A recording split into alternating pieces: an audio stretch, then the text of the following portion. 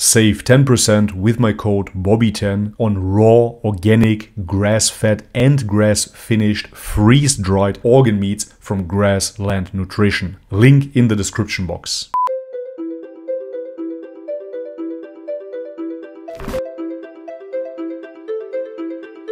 Oh.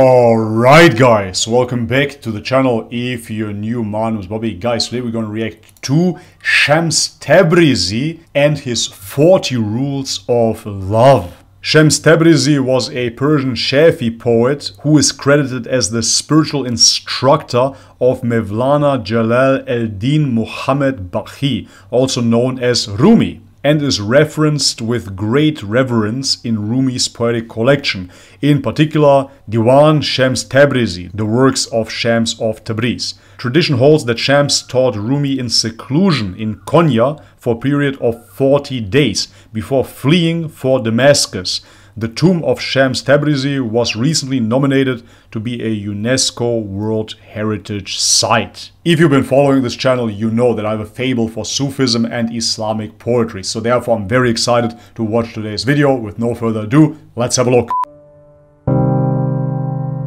How we see God is a direct reflection of how we see ourselves. If God brings to mind mostly fear and blame. It means there is too much fear and blames welled inside us. If we see God as full of love and compassion, so are we. Yeah, I don't really appreciate the whispering tone of this. The next rule I'm gonna fast forward a little bit. Nevertheless, yes, it is absolutely correct, of course, that God becomes a reflection of us. If you look at the atheist, for example, he does not believe in God. But at the same time, he's upset and he's angry and he's fearful of why God, that supposedly does not exist, is such a vicious God. People are dying, children are suffering, there are wars everywhere, poverty, hunger, and what not. What an unjust God.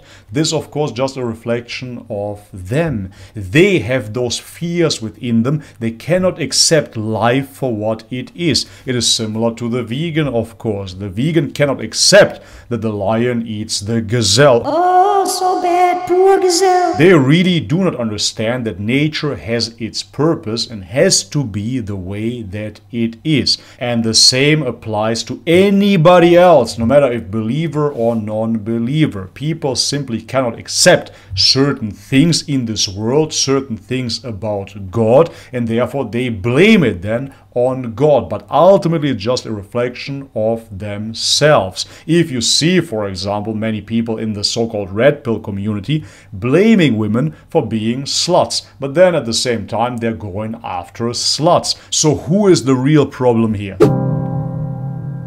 The path to the truth is a labor of the heart not of the head. Make your heart your primary guide, not your mind. Meet, challenge, and ultimately prevail over your nafs with your heart. Knowing your ego will lead you to the knowledge of God. Yes, absolutely. Know yourself and you will know God. This is ultimately one of the oldest truths that we have access to because if you understand yourself, your ego, you will understand what God is not. God is not limited like your ego is. Your ego will die at some point, either during this lifetime with an ego death experience or moreover when your physical body actually dies. And all that is truly left is God, of course. God is the polar opposite of his creation. Within this creation, you have a temporary time frame in which everything decays. God, on the other hand, is eternal. To truly understand this, however, we have to get away from our head. He is correct here. We cannot understand it within our head because our head Our mind is bound to time. Our mind is great at solving certain problems within time. We can do mathematics here. We can repair a car. We can think with a problem solving mentality. However, the knowledge of God is found within the heart. We have to get away from our rationale in order to access this truth. You can study God through everything and everyone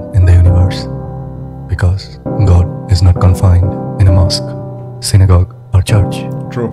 But if you are still in need of knowing where exactly His abode is, there is only one place to look for Him in the heart of a true lover.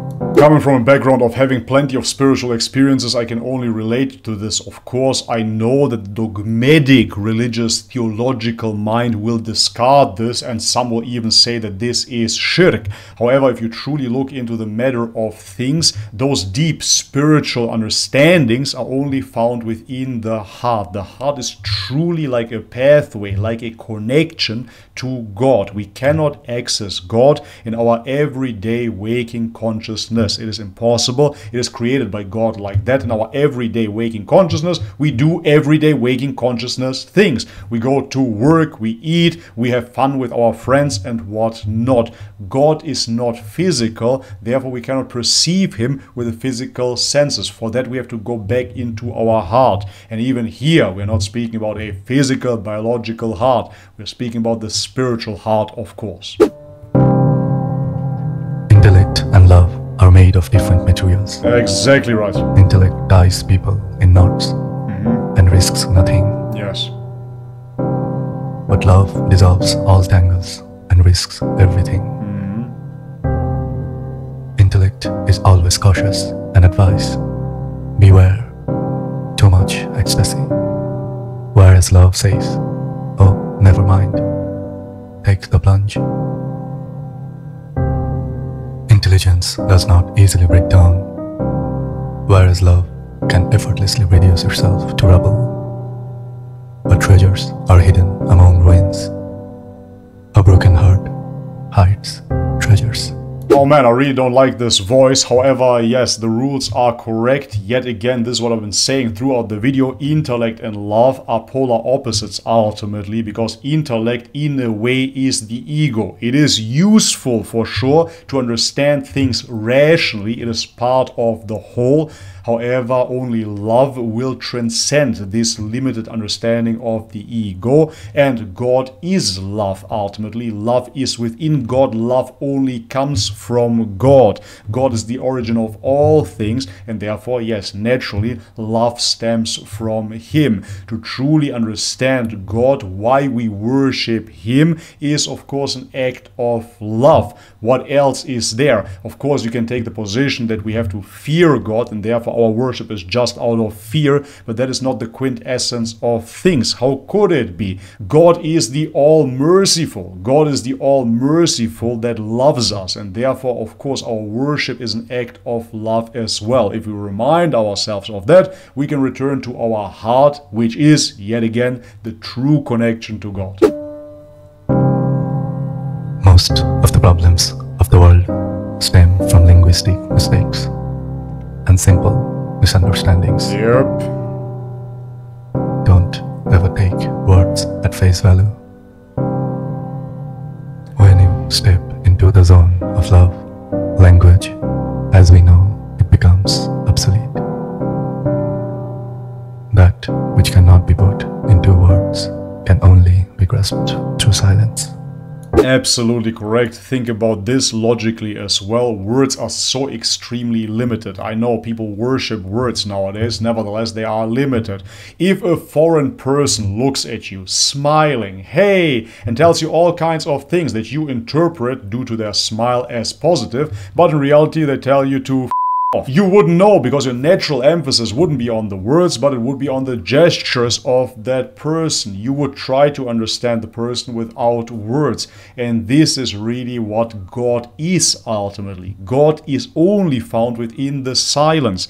Think about it, man. Why did the great men go into seclusion? Why did Prophet Muhammad go into the cave? Why did Jesus go into the desert? Why did Moses go onto the mountain? Do you think they did it out of fun or did they do it out of necessity? Why didn't they get the revelation just like that? Working, walking, talking to friends. No, they had to be secluded. They had to sit in silence in order to receive the wisdom of God. This is the only way it works. In Orthodox Christianity, we have a practice called hesychast, and this is a prayer of silence, going deep within yourself, contemplating in silence, receiving the wisdom of God this way. Once you enter the zone of love, as he said here, words become obsolete, man. Listening to human language sounds like listening to a chicken quack, quack, quack all day, listening to a dog bark. It is so primitive. The true divine knowledge is beyond words.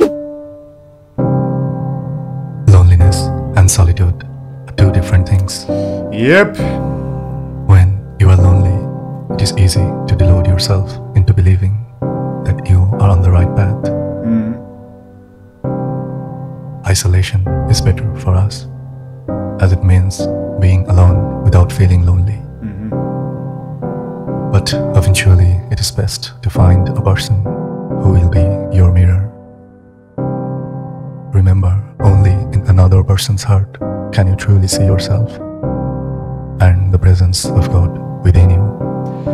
The presence of God within you, and this is something that the traditionalist, the standard narrative would of course claim as shirk. How can God be within you? This is absolute polytheism, this is pantheism, etc., etc. And this is why so many traditionalists discard the beauty of Islamic poetry. They don't believe that this has any place within Islam, that this is a bid'ah. But the Quran as well asks the people to reason, and it asks about the people of knowledge, who are those people truly.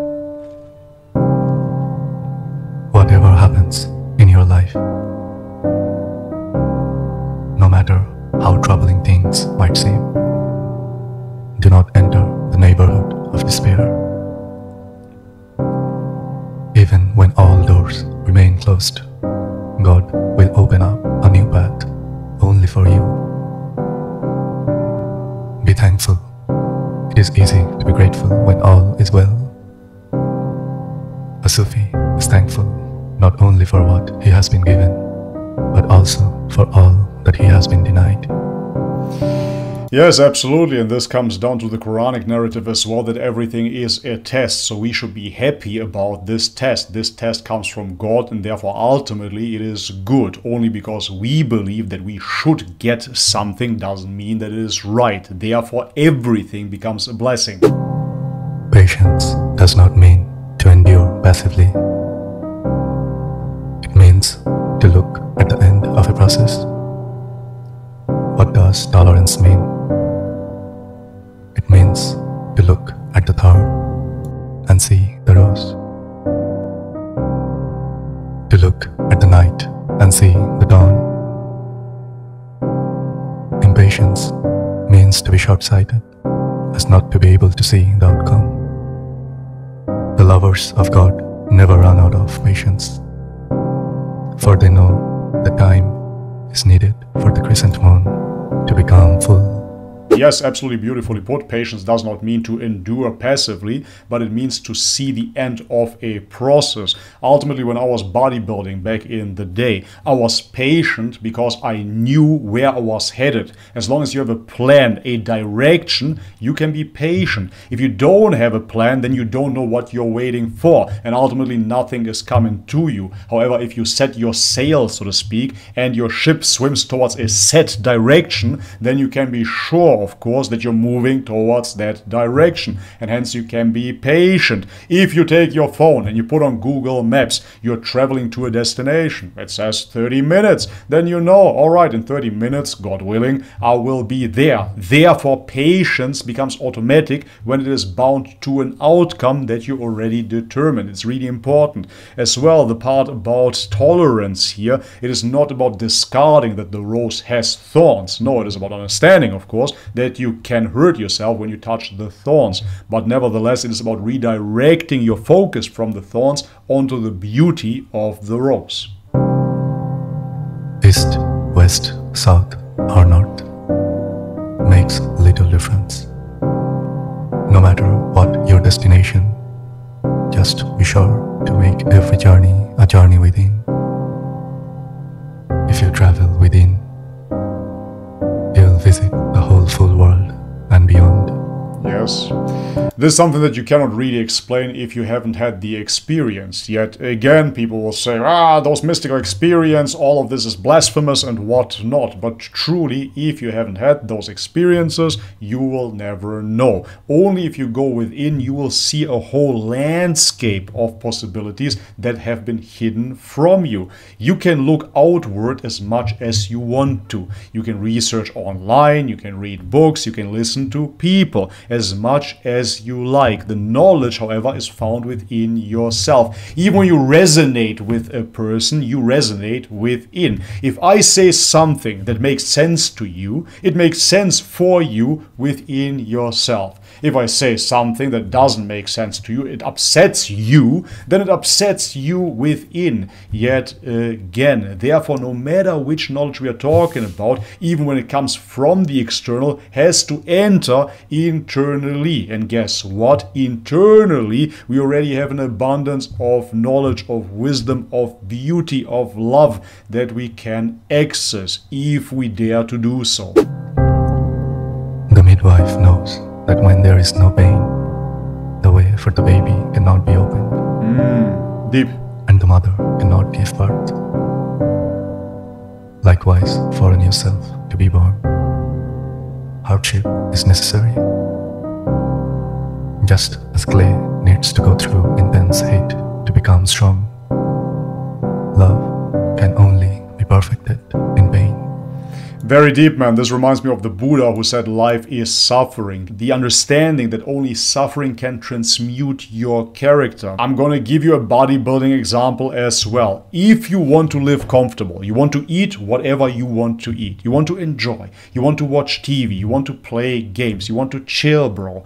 Do that, but you will stay the exact same fat slop. Nothing will change. Or maybe things will even get worse. Because you're not suffering in the moment, you will suffer later. Suffering is the name of the game. However, if you get yourself up from the couch, you go to the gym, you suffer in the gym, even though this suffering can be transmuted into pleasure as well. Nevertheless, you make yourself stick to your diet, you work out and whatnot. With this pain, with this suffering, you transmute your physical body. Through this transmutation of the physical body, of course, you're transmuting your mind as well. It forms your character. Discipline reflects within your character. You will have more self respect for the things that you do. Obviously, if you don't do anything, if you go the path of least resistance, you won't change whatsoever. This is an absolutely beautiful passage. Alright guys, and this is it for today's video. Shams Tabrizi, what a deep thinker this man is. Obviously, as the teacher of Rumi, he must have been. Those teachings, however, are not something that resonates with the majority of people, and that is totally normal. I understand. Most people are not mystics, most people are not philosophers, most people are not interested in poetry, and that is all fine because we are ignorant. However, if you pair ignorance with arrogance, this is where we have an issue because so many laymen will believe that those great men were actually heretics, people that went against Islam and whatnot. They will point the finger without having any practical experience within those fields. This is pure ignorance and arrogance, guys. I said it before and I see it everywhere. I do not care for your religious label. What I'm interested in is to see people that have an open mind and can truly think for themselves, can truly reflect and can see the truth as well. I do not remember where I read this quote, but it was so absolutely beautiful. It was about truth and what it means that you will have people that will seek truth within books, over books, over books, over books, trying to find the truth. However, once you found the truth truly for yourself, within yourself, then you will see the people that are upon this truth. I believe that this was Al Ghazali. It must have been. So this is something that we can only experience for ourselves. If we go within ourselves and we find the truth, then we will see other people that know that truth as well. How else would you understand what is right, what is wrong? If somebody else tells you, how can you trust that person? Are people not all flawed after all? But yet again, guys, this is just my perspective. This is my approach to life. I have to experience truth. I have to experience it for myself to understand if it is right or wrong. I cannot just take another man's word for it. This is not how I function. If this way, however, works for you, that is great as well. I'm not here to sway anybody one way or the other. I'm just here to share my perspective. Alright guys, but this is it for today's video. If you liked it, leave the thumbs up. If you haven't subscribed already, guys, please do so. And if you want to support this channel, all the links are in the description box below. Thank you very much, guys, and as always, may God bless you all. Much love and peace.